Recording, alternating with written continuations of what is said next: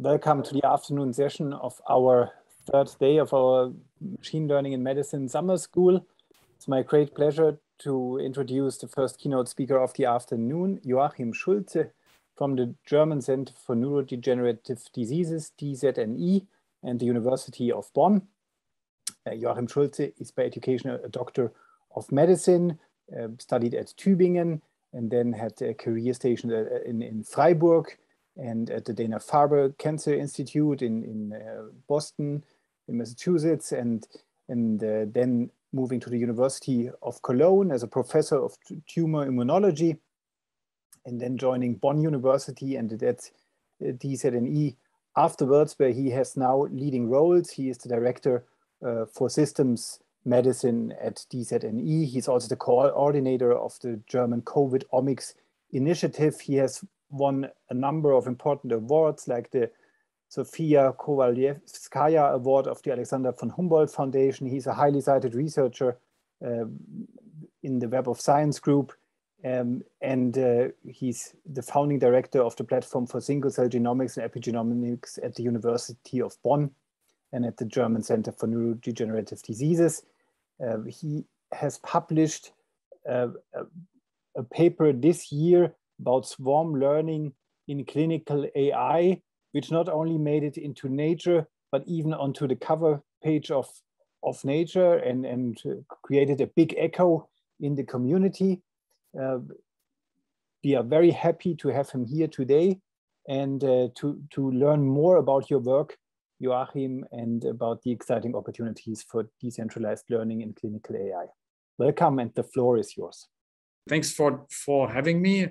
Um, and, uh, you know, from the introduction, you realize that I'm not a machine learning guy by, by training, um, but I'm a, a, MD with an interest in mathematics for a long time and in computation and bioinformatics.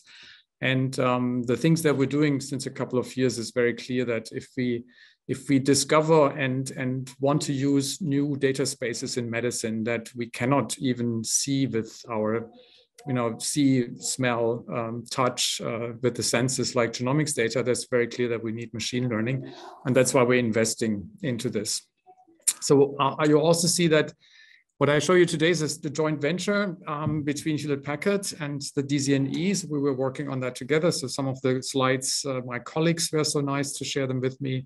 Um, and I have some from the DZNE and we use them all together.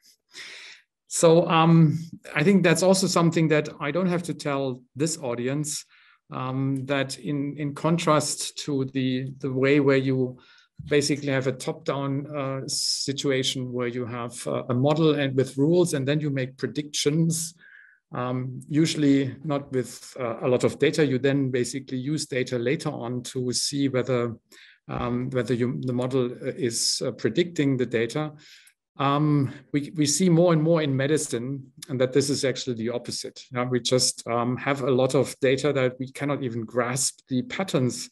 Yeah, think about this. How can I, as a as a human being, um, look at genomic data without uh, basically looking at the patterns by algorithms. There's no way. Now, if you take an X-ray, you can see still use your eyes. Uh, some of us, at least, um, if you have uh, genomic data that's out of question. And so I think in, in medicine, particularly, you have more and more the, uh, the opposite. Um, you generate a lot of data um, and then you have to find the patterns. Um, and then later on, you basically use these patterns to predict new samples. So this is, this is our basic concept. Of course, what that means is you need a lot of data. Um, and uh, that's already one of the bigger bottlenecks in, in medicine because uh, medicine is uh, is fractured in many small entities. Uh, you start with uh, private practitioners having data up to large centers, um, but there's not so much connection, at least in the areas where I basically work in. Um, we all know that the, the way it starts with machine learning is, of course, that you are having an institute um, and you have your infrastructure, you have your ideas, and uh, you basically think about locally how could you basically use machine learning, for example, to predict a diagnosis of a patient. And um, whenever you have been there for a long time, you also know that not a single place on this earth has enough data really um, that we're satisfied with what we would like to see with, uh, with uh, machine learning. If you compare the medical data space that we have with some of the public data space, it's just too small. So very often what happens is that there's a huge bias. We locally measure and analyze it. Um, but if you then try to generalize it, you take one model from one center and apply to the others. Usually this is not very well uh, behaving. And it's very clear because you're also training in your data the bias of the location. And I can tell you that this is even true for a lot of imaging data in, in because although we should have the same machines and should have the same settings and so on, um, there is differences. In the genomics field, where I'm more familiar with, we know exactly what the bias of the different genome centers are. Um, so single, single center studies um, have a huge bias. So um, of course, um, over the last, I would say 10 to 15 years, the solution to that was very simple. Um, if we need more data, we should just take everybody's data, push them somewhere centrally, um, and then do everything there because then you have all the issues that I just talked about are somewhat gone. Now, and this is true if you then look at also at the um, at the um, performance usually what you have is that uh, the central models really um, have a much higher accuracy. And um, mainly this is due because you have just much more data and the, the bias from the different places are, um, are reduced. Um, and of course, you can also take care of that if you have um, access to the whole data. Now, for some areas that might be fine. Um, for medicine, this is a this is an issue because of uh, many many uh, points. I just give you three major ones that I see. Is one is cost because um, data transfer and data storage, particularly data application in in data spaces that are large, is not a very good and sustainable idea. Um, then there is data security um, issues because there are rules in the medical field that makes these kind of settings really much more difficult. And since the GDPR has been um, um updated a couple of years ago, this is even more complicated. So um, although it has good accuracy and demonstrates uh, um, gen generic models, uh, we have these disadvantages. Now, um, summarizing that, for us, um, we have looked at that uh, particularly in genomic data, but also in imaging data. For example, here at the DZNE, we have 10 sites. And for example, at the moment, if we want to transfer NMR data from one site to the next, we're basically loading them to a, a hard drive and put them into a FedEx and then send them over. And this is uh, not really cost effective long term. As I told you, um, more and more, if you carefully read what the GDPR allows and what it doesn't allow, it's getting very complicated to put things uh, centrally. Um, when we go across enterprises or across organizations, it get, gets really complicated because then are legal and financial issues that have to be taken care of in a completely new way. Um, in science, we often have not dealt with that, but our institutions are getting more and more aware of that. So that's also an issue. And then, of course, in, in outside of science, if you think about uh, companies that would like to work together, it's also hard to just give away your data because uh, all the data is, is value these days. So um, the, the idea, of course, to, to uh, address that has been put out a couple of years ago, and that uh, the term out there and it's a huge field is of course federated learning. Um, and we have looked into that, and we also know that there is uh, federated learning peer-to-peer, -peer, um, basically. Um, but if you look at those models and those systems that could be applied to the medical domain, there's one thing that still bothers us quite a bit, uh, and that's the uh, central custodian. So in, in other words, while the data now stay at the edge and the models are trained at the edge, um, so you don't, don't uh, share the large data anymore, um, which also deals to some extent with data privacy.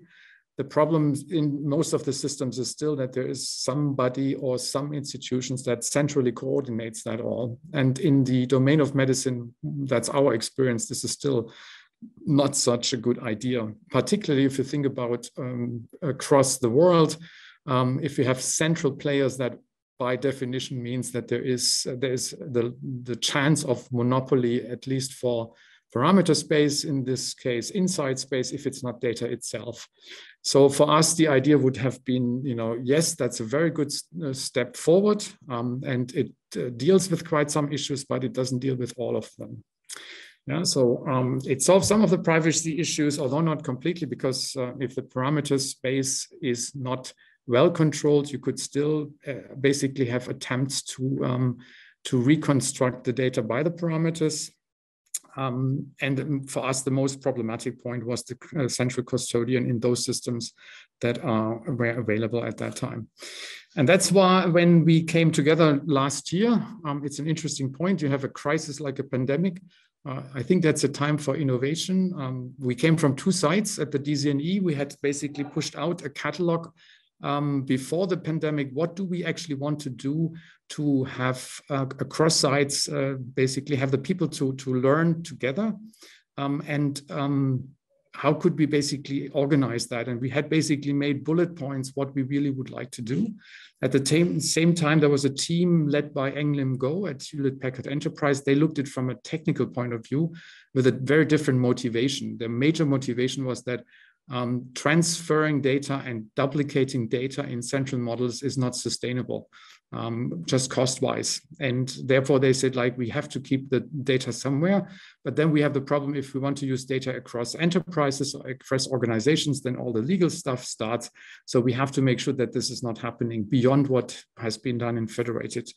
And so um, we came up um, with uh, with this term swarm learning in then in, in in principle. Um, there is no central custodian, so there's not one ruling this. Everybody is equal and like uh, and like-minded. Uh, there's, a, a partnership. Um, the network reflects that, also the technical solution. Um, and that's very important to us. Yeah? So you basically, before you start doing anything, you make the rules how the network should work and how every new member should basically get onto this. Um, the ownership of the data remains local. Of course, if the network would discuss and think different, then they could, but that's the default. So you really have um, this, and you can also put that into a um, into a contract, into a intelligent uh, contract that is part of the blockchain. That's part of the swarm learning principle. We also solve the data protection and security um, locally and also make very much uh, sure that um, the attempts that you can basically extract from the parameters, um, again, data, um, reduce that even further. Um, and then, um, then what we have already shown and seen is that since we basically, the way we basically integrate the uh, learning results um, is reducing the bias from that comes from each of the sites dramatically. And I can allude to that later on again. So how does this actually, uh, this process uh, flows? How does this work? So let's pr pretend or let's presume that there is a group of institutions that decided to build such a swarm network. They have their data and they have their processing power. By the way, they can be completely different. It's very much scalable. So you can have uh, swarms with very different uh, sites concerning the power of uh, HPC or not even HPC, um, and as well as data. Um, um, so that's that's another very big advantage. The swarm can actually take care of that. Uh, the first thing is that everybody registers. So once you have the the the, um, the electronic uh, contract that decides all the rules concerning the data, the data quality, the algorithms, um, the responsibilities, the rules, the rights, and so on. Then a node can register. And of course, before that, and I come back to that, there's some technical installations, but let's presume this has been done. Um, the node registers to the Swarm network and receives the um, model um, that was decided to be used. Um, then all the sites train the model um, locally uh, for a certain time window. We call this the epoch. And then, of course, once this is done, um, one of the players within the swarm has been randomly selected to collect all them. Another, another option is that the, the one node that is the first in this round would be the one that collects all the results from the other one. So in this case would be the lower left here. Um, and then this uh, node shares the merge of the trained models. And the merge again has rules, and these rules can be uh, decided by the swarm beforehand. For example, you could take the parameters and have the mean or the median or the averaged. Uh, this, is, uh, this is something that uh, the, the swarm decides beforehand. Once you have this optimized uh, parameter set, then you basically repeat the whole thing. And then you do that as long as uh, the swarm decides to test a certain uh, result. And of course, uh, machine learning principles um, that you have to divide training and testing and so on is all implemented automatically. So this is, this is not an issue anymore. So um, what you basically have as a difference then is that the data and the parameters are at the edge. Um, you basically collect them only to make the best model out of all of them. And this is not basically put by one single entity, but the swarm basically has a principle how this is dealt with. Um, this is some pre-pilots from the um, from the uh, from Hewlett Packard in-house with some in-house data and what they could show in their in-house uh, setting that the swarm basically behaved uh, like a central model more or less. Yeah. And of course, that's what made them interesting. So like, okay, what about if you go into real, real uh, world scenarios? And, and this is why we then joined and, and worked together on this. And I come back to that. Before I do this, yeah, just to mention a couple of things again, you know, it has high accuracy. Uh, we have actually situations where we um, have been better than the central model, and we also know why. Uh, we can discuss that later. Um, and um, the system itself, the technical solution, is really uh, very strong in enhancing privacy and also security.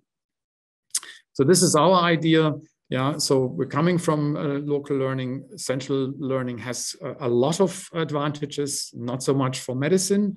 Federated is the way forward from central. This is that there we are for sure. Um, um, but we think, you know, once you have the blockchain technology combined with the swarm uh, as part of the swarm learning, and uh, you have also the um, the complete uh, edge parameter and data setting, then this is the this is the, the next step basically. And um, what's be, beyond that is um, is very important is is this privacy preserving or private or permission blockchain network. It has nothing to do with with blockchain that in the in the public domain is very often connected with Bitcoin or, or others of these uh, uh crypto um, um, currencies. Um, the blockchain principle, yes, but um, it's based on a smart contract and a ledger. So um, that makes this very versatile and also very fast. Yeah. And the other thing is that um, for the moment being, we're seeing that as uh, swarms that have a as a size, a size that is um, certainly uh, in the in the dozens to hundreds. Um, what we are not pursuing because we're more interested in the medical domain from institutions um, is that uh, we don't see that for the end user market at the moment. But that's something um, you might have to ask them Hewlett Packard the Enterprise whether they're going in this direction as well. The whole thing is dynamic. You can onboard new nodes if they accept the smart contract and the ledger.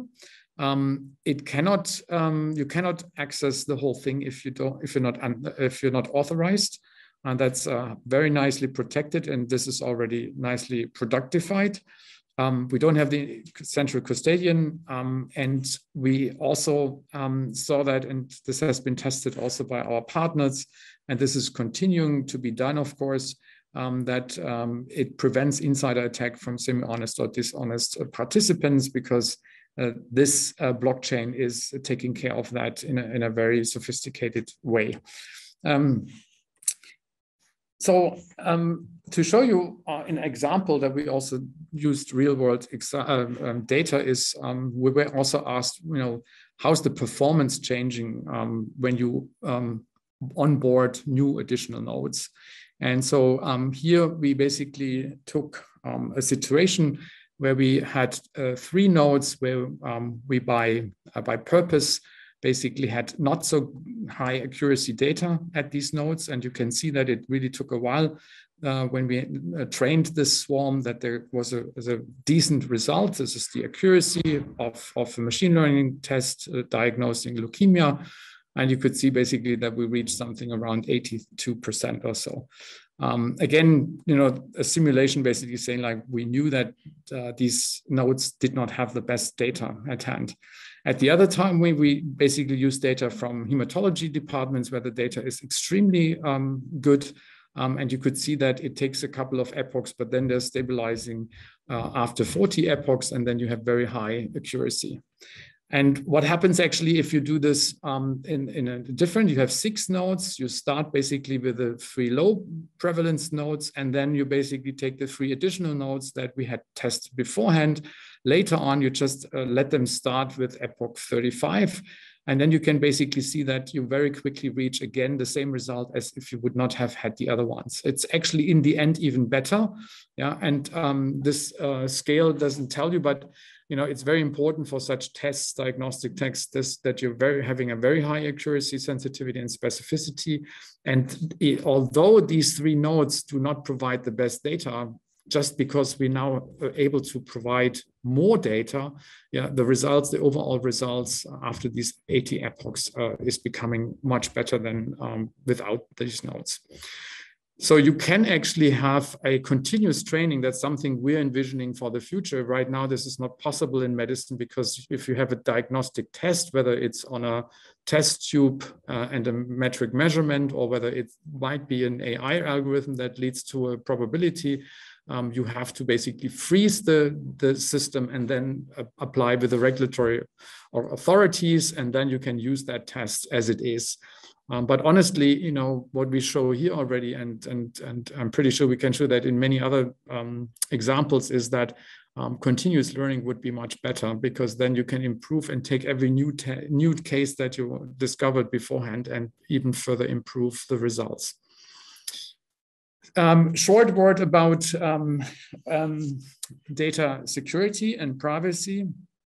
Um, so of course, um, this is an area which has, I'm also convinced has to be looked at continuously, also for swarm learning, but also for federated or, or, or, or central or local. Most of the things are actually similarly important. It doesn't matter really what your structure is. Um, and of course, um, these the, the, security aspects for data sets is ownership and governance, the attack vectors could be easily theft or re-identification, reconstruction, or tracing. And then there's a couple of prevention mechanisms like anonymization, pseudo-anonymization, encryption, difference privacy. And this is nothing that is specific for Swarm. This is true for federated. This is true for, for um, central as well as local learning. Same for algorithms and models. Again, we, we see that complementary to the setup. Um, you have the security aspects are the owners or the algorithms themselves. And then the same thing again, theft is an issue, model inversion, adversarial manipulation. And then here again, things like homomorphic encryption or secure multi-party computation are potential mechanisms to prevent that.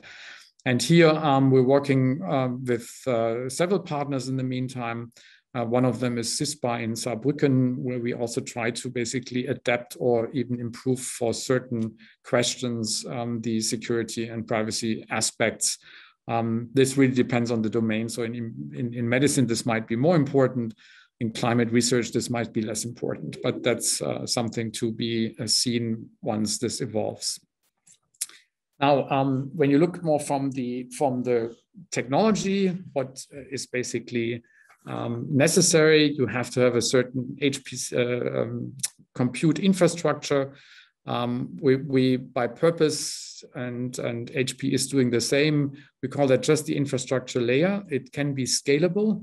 So you could have something like an HPC, but you could also have a large workstation to start with this. And for some model building, even a very, very good laptop can, can do this um, just to see whether there is something in of course, this um, um, we uh, think that can be all on premise, but you could even take swarms of clouds. So yeah, clouds of clouds, if you wish so. Um, because honestly, we don't think that there will be uh, a mega cloud in the future. Even if there is cloud data, you could think about on top of that a swarm that connects different cloud data.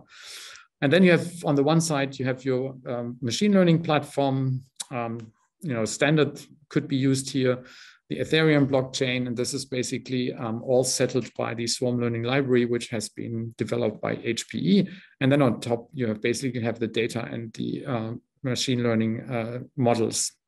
This whole is containerized um, to make it easy to be installed. So you need basically a virtualization infrastructure. And then on top of that, um, it's basically a containerized system that can be installed. Uh, also, the API is um, supposed to be simple so that um, machine learning models can be easily integrated. and um, the hyperparameters are tunable, although we did not really use that yet, um, but there is more in than we showed so far. Um, and then you have basically the management commands to control the whole network. Uh, and again, as I said, there's not one central unit that does that. It's basically from learning process to learning process is a different member of the swarm. Um, you can also look at that from a deployment view. So you have five components and, or containers. One is the swarm learning, uh, basically for running the user-defined machine learning algorithms. One is the blockchain. Then there is a Spire server, security identity integration. There's a license server. And then there is uh, SWCI command interface uh, so that uh, people can actually interact with the swarm itself. So this would basically look like this. There would be an organization. And again, it's all containerized. Yeah? Um, so it's pretty simple. The license licenses for the node, SWCI node, the swarm learning node with a, with a model, the Spire server. Then you connect basically the next organization, the next organization, the third one, they're all having the same setup. And then you start basically to connecting that. And then once they're all connected, they have seen each other. The, the blockchain says, yes, everybody who was allowed to get in there is in. Then you can basically start um, doing the learning process. That's how it works. Yeah, and um, from the if you look at um, the um, the code, um, the idea is there also that to make it very simple. So to call basically the swarm, there's not so much difference uh, to be done, um, and this is also in the Nature paper which we published. So this can be easily looked at. Um, also, the tools are can be can be tested freely. And of course, um, from our experience, we're also happy to share what, uh, what we learned with the system. So, um, and since it's containerized, as I said, it's really something, if, if you have set up your system, and I think most of the modern cutting edge or state of the art systems should be virtualized with uh, container systems to be loaded, then this is not something uh, uh rocket science anymore. Now I would shift gears and give you um, some insights and outone to the use cases um, because I think that makes makes the, the, the big difference. Um, we saw, of course, a lot of people that had maybe similar ideas, but just ideas. Um, and of course, uh, we have also a lot of new ideas actually, but we always have to show first, do the ideas actually work? Um, so um, of course, that's our domain, and uh, we could convince also our partners uh, from Hewlett Packard and from the computation science departments uh, which uh, um, use cases we should choose. Um, it's very clear medicine is an interesting one because it has all these problems with data sharing. Um, that's actually inherent to, to medicine. Um, just think about this. Um, if you are a, a, a patient, um, what you don't like to see is that your data is completely freely available everywhere. That's why you have a physician that you can trust that do, you know, that physician cannot even share the information about your health with the physician next door because that's not within the physician patient uh, contract. Yeah. So if if you if your physician wants to share information or wants to ask another physician for opinion, he has to first ask you. And this is since hundreds of years like that. Yeah. Even if you go to a hospital and there's more doctors, you actually might not have seen that, but you signed basically that doctors can talk to each other about you. Uh, and if you don't sign, then they actually have to deal with you completely different. Yeah. But this is a privilege in, in medicine. And what happened basically so far with central models and so on is basically neglecting what is there for hundreds of years and how it worked for hundreds of years. What I think what swarm learning does is basically it does not neglect it, it just uses it. Yeah, because it does two things. It protects the privacy. At the same time, we learn together, and that's what doctors also do. Yeah, they're learning about insights, but not about data. Yeah, so if I say like I have a case um, and I have this this findings based on these parameters, you never talk about who is that, but you're basically saying, I have now an idea what this this this disease is, and this is only based on the parameters basically that define these uh, diseases and not on the data itself that are gathered by the patient. So um, that's the basically the, the, the major issues, and then of course comes other things that are interesting. For example, demographic biases. So if you take a hospital in Europe and one in Asia and one in Africa, and one in South America and in North America, then we have biases because that's normal. People live in different circumstances, they have different genetic backgrounds. So um, if we even looking at the same disease, then we will have differences in the patterns that we're looking at. Um, and so these kind of things are also much more easily seen if you um, use um, a swarm so that you can really see which of the parameters are completely independent of the location where you are. So these challenges exist, and um, the as I said, the mentoring principles have existed since ancient times. So you know, doctors learn from each other, but they're not learning about their patients. They're learning about their insights and the diseases, and that's basically the parameter space and the data, if you want so. So what could you use? Um, of course, X X-rays. Um, there is uh, CT scans and MR images, so everything that has images, and of course we all know about uh, the large uh, public data sets from Google and others where you can look for patterns. Um, you know, a medical um, device pushing out images is nothing else. Um, we could use clinical data yeah, from the history of the patient, also from physical exams, uh, clinical laboratory parameters, and so on. Um, what's interesting for the future is certainly the continuous data like EKGs, uh, wearables, and so on.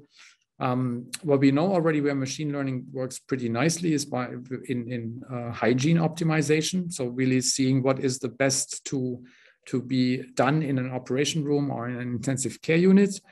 Then there's a huge and completely new field, which is omics data. Um, and it comes from the genome, the transcriptome, proteome, and so on.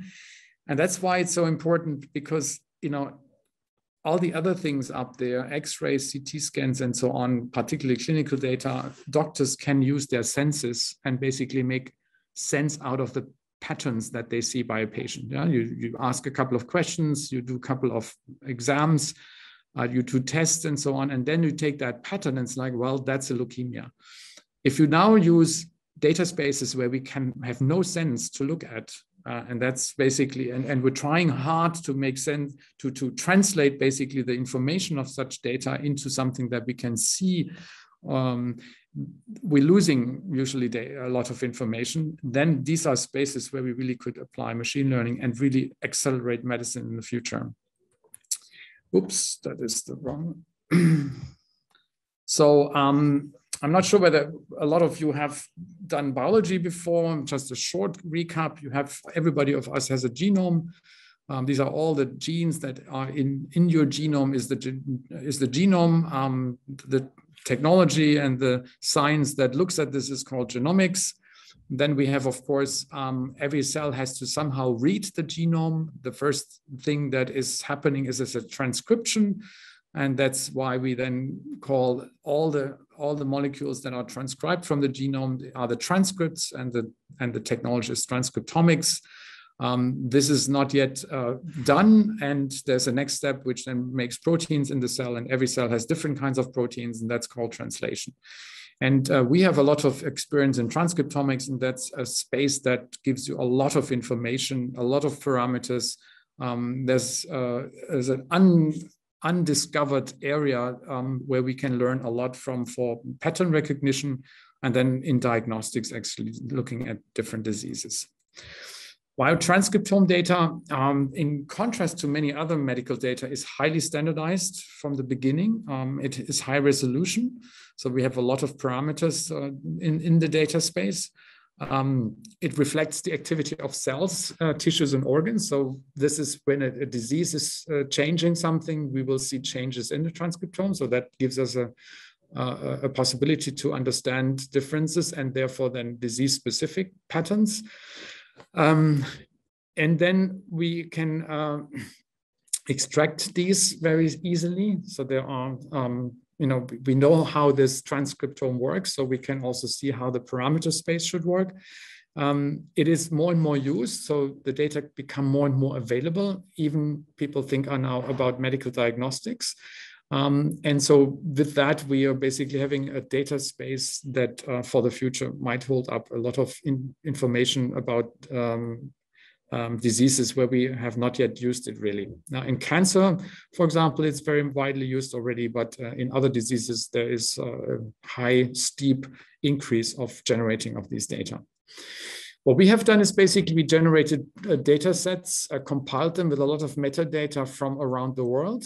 Um, these are from many different studies. Um, these the first uh, we had already done before the uh, before the uh, crisis, before we started to work together with uh, Hewlett Packard Enterprise. This was about leukemia. And he took several PhD students, amongst them Steffi Warnat-Herresthal, but already before beforehand to collect them um, and then to ask also the people that basically generated these data back and back to get really good metadata. So I think we have a, a rather nice uh, data set now, highly uh, curated. Um, metadata are extremely good and the parameter space is also very good. Um, there are three of them uh, the biggest one is the second one, which is called dataset A2 with about uh, eight and a half thousand um, transcriptomes. Um, and the reason why there are three is because they have been prepared with three different technologies in the laboratory. And there you can already see that, um, you know, over time, these technologies change and then you cannot just include them. Um, what we then basically did is um, asked a, a, simple question um, because we knew that this can in, in theory be answered if you take a central model. That's what we had published before and um, had cases and controls. So either you were leukemia or you were um, healthy or had a different disease. And then we basically uh, split the data in different nodes along these, for example, studies that had been done, um, but also other uh, other ways of splitting them. Uh, so we, we also wanted to uh, see what what influences the analysis. So we also um, did different scenarios. Every node then had their own uh, data that was siloed. They were never exchanged afterwards. You know, so we pretended that each of them would have been from one single uh, hospital. But the swarm basically could uh, take the three local learnings and integrate them. And then we basically had completely independent data on a test node that could have been a fourth hospital or another institution in another country, where whatever we had learned from the uh, local ones or from the swarm would then be tested independently. And so um, we had a couple of scenarios. So here's one where you can clearly see that there is one node which had 8% of all samples in this uh, scenario um, that had uh, similar numbers of controls and cases, but we also did some where it's really bad because you almost have no cases and that's a, not a very good training situation. And then vice versa, more, more cases and controls. And you can clearly see that, um, you know, let's take this one first. If you take local training with almost no um, cases, you can see that the, the, the, algorithm that comes out is very poor. Yeah? So if you then test on a, an independent data set, which is here the accuracy shown, you have basically you know, more, more or less gambling, which we would have expected. But what's interesting is even if we have these ones in here, the swarm basically um, actually uses this information still and behaves much better. Yeah. So the swarm, of course, takes all that into account, measures the parameters, and then over the epochs comes up with better accuracy than these single nodes together. What was also interesting to us is an even distribution here was much better than if you didn't have an even distribution. Another setting was uh, was shown here. Yeah. So here, what we did is basically we had different clinical studies from different um, different countries, even, and we pushed basically say like you know there's country one, country two, country three, with all their biases in how they did the studies and so on, and see whether the swarm would improve each of the individual um, studies here. And this is also the case. You can see that uh, if you then test again on an independent node, that um, the integration of the parameters by the swarm um, basically resulted always in better test accuracy, but also sensitivity, specificity, and so on.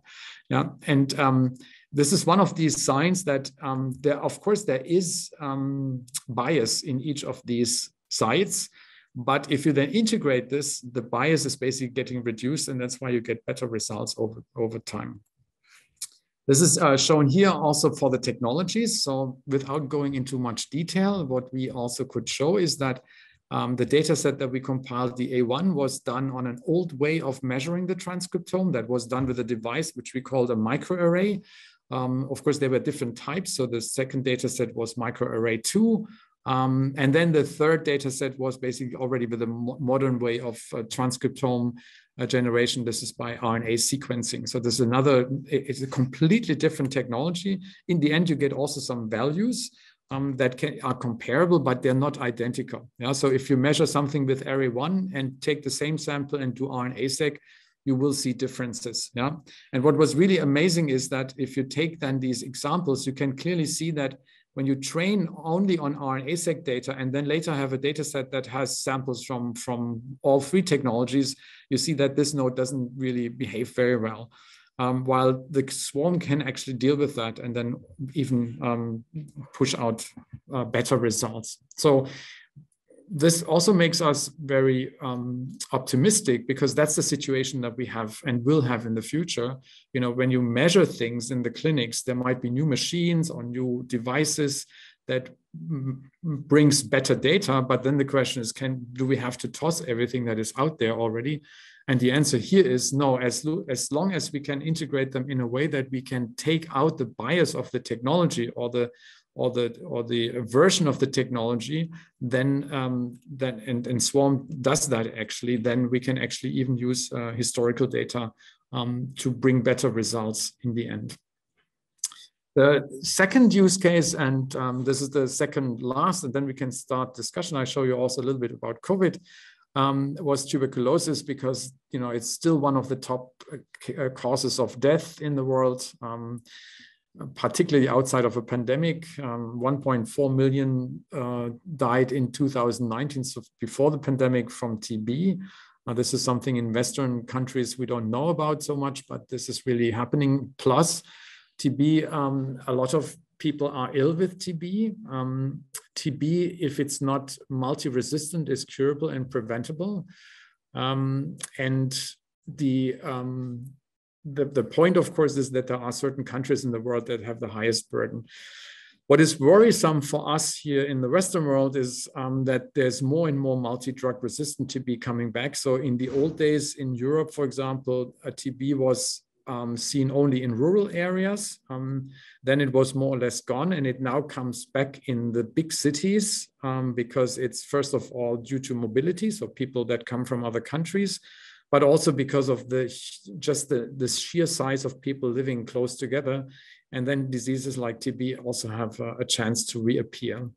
So that's um, why we think it's important to not only make better treatments, but also better diagnosis, um, because that's still not good enough. So we're not detecting every time. And you don't want to basically do invasive lung uh, biopsies or lung uh, bronchoscopies all the time. So again, there have been people that have done data um, and they had some indication. And uh, what we did basically is we took the data and um, took them at, from these different studies and then had them learn locally and then also learned by swarm and you can i think you can easily see here how much better the swarm basically performs when you look at accuracy sensitivity and specificity by the way we we did um, uh, random permutations in the sense of that we um, basically um, distributed the samples once they were siloed to test local test and training um, several different times to reduce or to understand what is the impact of individual samples. Um, but even then, it doesn't matter. The swarm is basically outperforming. And of course, one of the major issues is that you have more samples, uh, uh information from more samples available. Um, we can also show that um, what how it behaves to the central model, and you can see that this is on par for accuracy D was even better. And the reason was because we had some huge bias in one of the of the data sets. Um, and if that if you take that basically into a central model, that bias is not really taken care of, while you know this one data set was only at one site. And since we treated the sites equally, this huge bias was actually much more reduced than it could be reduced in a central model. Of course, you could uh, also in the central model, if you know about this bias or you, you think you know about this bias, you could actually um, tune the parameters for these samples, but this is something that would be much more sophisticated than it was done here in the swarm learning model. Now, the, the next thing is, uh, of course, you know, um, we started this all during the pandemic and we wanted to know one simple thing, you know, could you by just learning together, could, because, you know, from the, from nature to the WHO to to many organizations, to the European Union, and so on. They all said, you know, you, we have to work together.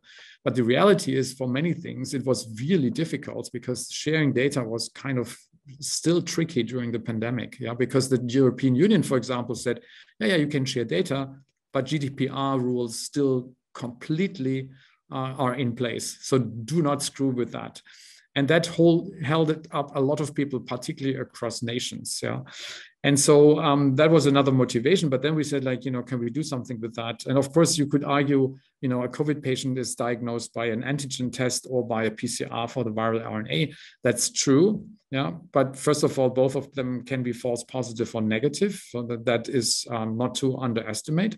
And the second it doesn't tell you anything about the disease itself yeah so is this a mild course? Is this a severe course you know is this something that uh, we we need to uh, uh, check?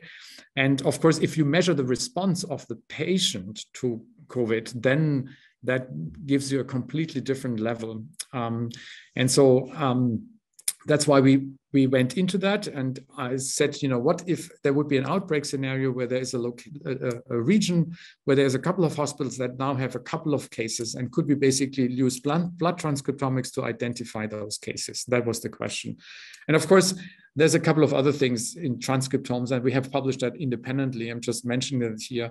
We can uh, learn a lot about the disease biology. We did this by single cell uh, sequencing and by bulk um, and published that in Cell. We we have predictive biomarkers. We did that together with colleagues in Kiel, and we could even predict drug targets that might reverse what we saw in the disease um, on the transcriptome level. These are some computation models, how you basically can do drug repurposing. But here we used basically the pattern that COVID induced in the patient to see whether we can use that pattern to identify patients. Yeah? And so uh, we asked a lot of colleagues across Europe, from Athens, from Nijmegen in the Netherlands, from German hospitals, that they would basically spare with us their transcriptome data from, from their patients. And then we had basically here in this one setting, we had six different hospitals. Now these are really hospitals. So E1 is one hospital, E2 is one, and so on. Uh, we try to make sure that they're giving us uh, almost the same numbers for the for the beginning, and you could see that there were different numbers of COVID-19 patients. So E6 and E8 actually, uh, we learned in the end had none. Yeah, so we just got controls more or less. You can also imagine that they alone cannot train COVID because they don't have cases.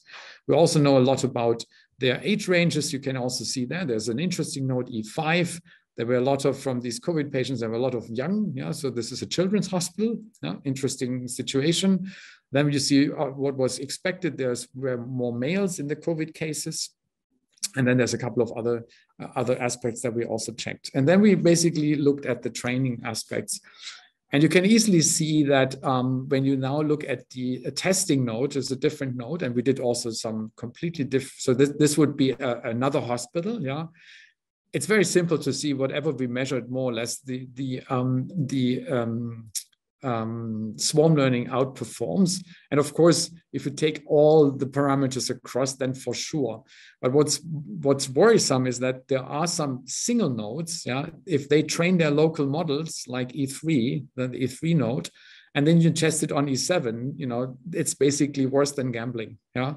So again, telling you that you know if if you cannot integrate enough data and um, take out enough of the biases that come from individual sites, this um, is very hard in medicine with few few um, data. Whereas swarm learning really brings you already to very high numbers.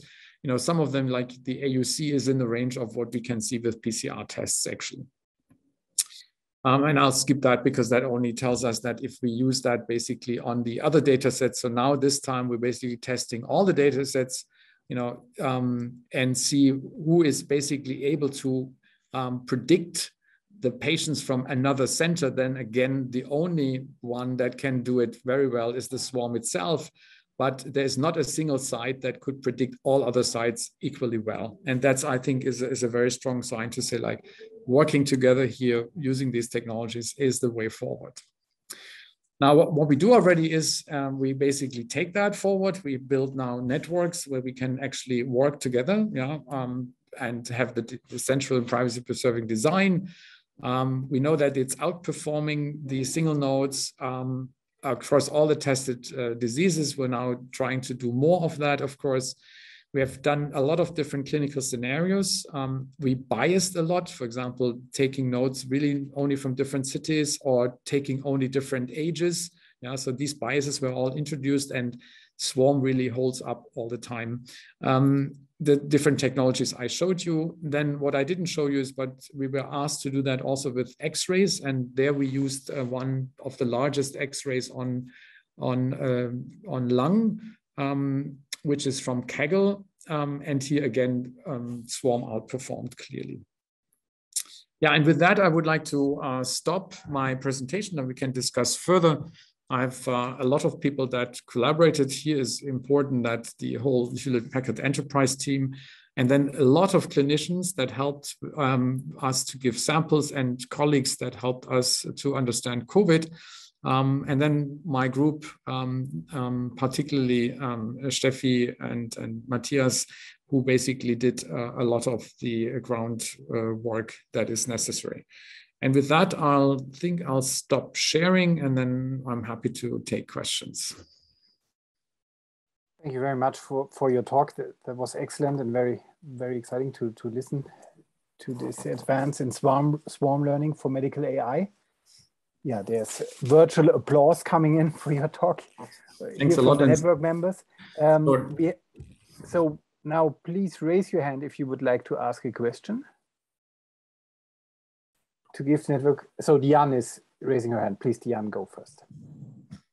Um, thank you very much. Um, I have to say that this field is quite new to me, so I'm sorry if I missed, uh, missed the answer to my question.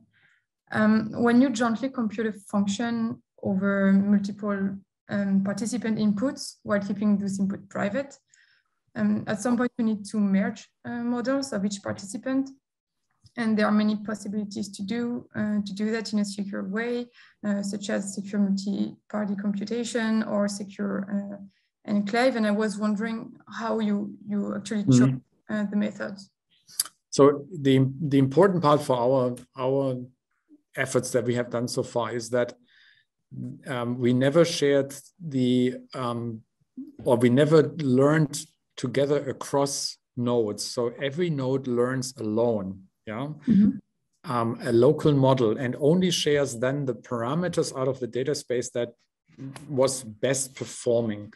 And then you have different ways of comparing. Yeah. So the, the node that is then basically chosen randomly to say, like, okay, I take I take now all the information in and what to do now with that. Yeah. And for the next epoch, basically. And what we chose is basically we did um, we, we did basically a very simple model. All the parameters that came in, we took the, the median or the mean, and then this information was given back for, again, completely independent local uh, calculation um, on, the, on the nodes themselves. So there is never across two nodes or more than two nodes um, joined model learning. It's always local. You take the same algorithm, but it's always only local.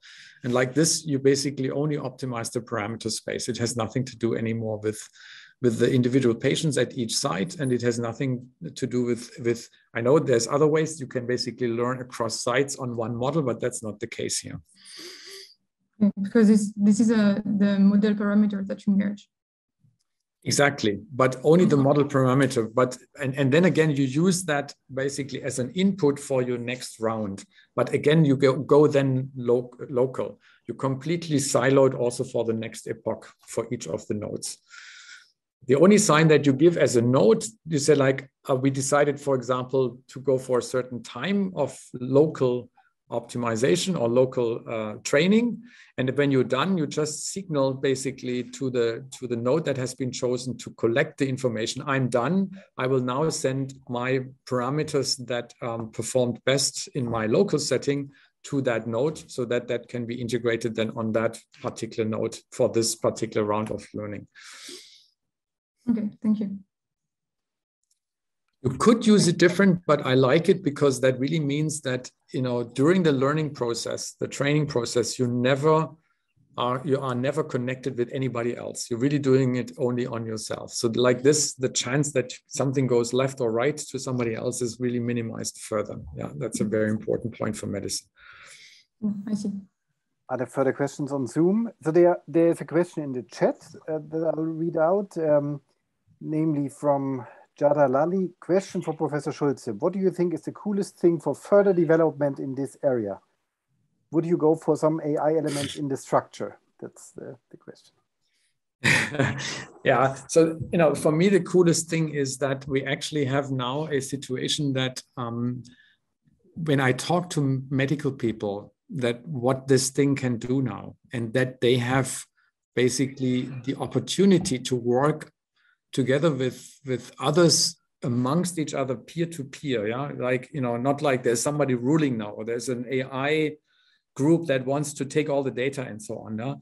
There, um, but you say like no no no no everybody in the swarm is equal no everybody has you know we agree on similar rights everybody is similarly important and there's nobody ruling this whole thing except we all together like a real swarm then they all open suddenly they all want to join yeah and before when we said like you know we want to use your data for some ai you know the often the answer was you know why do you need our data? And what is what am i getting out of this? Yeah. And why should i give you the data? So the mindset has changed completely. And that's for me the coolest thing because i know i'm a physician you know i can say that. I know how difficult physicians are. Yeah. But now i you know you approach them and and they say of course yeah i want to i want to be part of this. Yeah and i think that's something we should uh, foster quickly and and other people not only us should do that and say like see whether they have the same impression. Um, yeah and for me that's also a european idea. Know, it's really like we're we want to have everybody who brings something in has some rights and responsibilities and that there, there is not a, a central person organization country or whatever that rules us all that's something I think in Europe we shouldn't have. Um, and uh, this is the European idea. So that's for me another cool thing. And that can be beyond yeah. medicine. I have one comment uh, or comment slash question. so I'm coordinating the harmonization of the uh, intensive care unit data all over Switzerland between all Swiss university hospitals. And we face two big challenges in that. The first one is actually solved by your work. So we, there were years of negotiations regarding data transfer agreements, legal legal yeah. uh, permits to, to exchange the data between the, the hospitals or to, to bring them to a central site.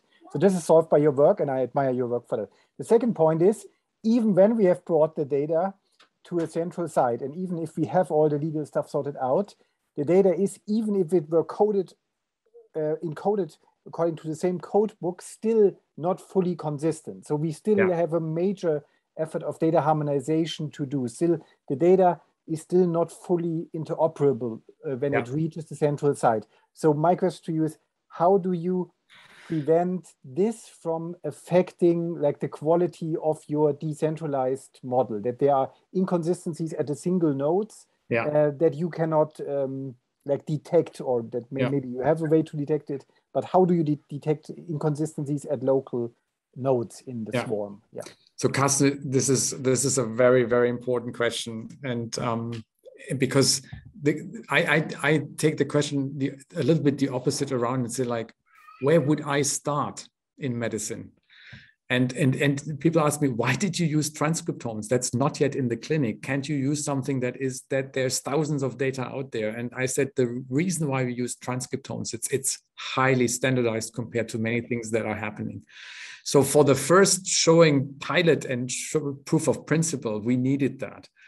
Now comes the groundwork, you know, the one that you're ex experiencing. What is the what is the next data space where we can actually use what they're doing in the clinic? Because honestly, is a zoo. Yeah, medicine is a zoo. there is and so many flavors of of what you think is the same you know there's two giraffes and then it's like you know just put them together and it's like no is it's like two different animals yeah and and um, yeah, I think we have to train our people. We are discussing right now with the the, the neuroimaging people because they have some very specific questions and they have systems where the standardization is very high. So the, we're actually going the other way around. So like, where is the next data space that is useful and meaningful across sites usable? So um, I'm admiring now what you're doing because I, although it's super important, the ICU, um, every ICU is a little bit different. Yeah, of course. And and and the, and it's very much people driven. You know, if you have very good people on the ICU, it's different than if not, and so on. And I'm pretty sure the data shows that. Yeah.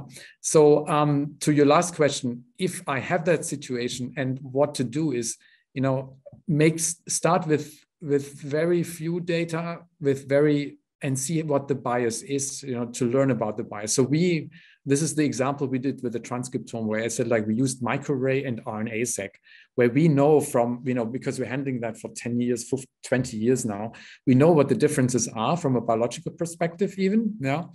And so we, we quickly could see whether the swarm can deal with that or not, because we, we looked at that without machine learning. We just looked at technical technical level and said like, this is the difference that we know. Yeah, gene X in this technology has five value and in this has seven. And this one has two and this one has 10. Yeah. And so we knew exactly for each of the parameters, what do we expect based on the technical bias? And then saw afterwards does this have an impact still or not yeah so you have to dissect the data and say like okay i have to start to learn and understand what the values mean and and and then really you know do simple stats on comparison of two sites and say okay now i see what what how they differ and then see what that impact is on the machine learning thank you very much so it was a very inspiring talk and a very fruitful discussion here and now also thank you for um, for taking the time to meet the doctoral students of our network. This will happen in a breakout room now in the next um, minutes. So you will, uh, so, so Katharina will open this breakout room. We send another round of applause to you for this talk. It was really enjoyable. On behalf of the other PIs in the network and the general audience, I say goodbye now and thank you. Thank you. Thank you for having me. You're welcome. And we'll continue with the general program here at uh, 3 p.m. Central European Time with a talk by uh, Peter Klaes.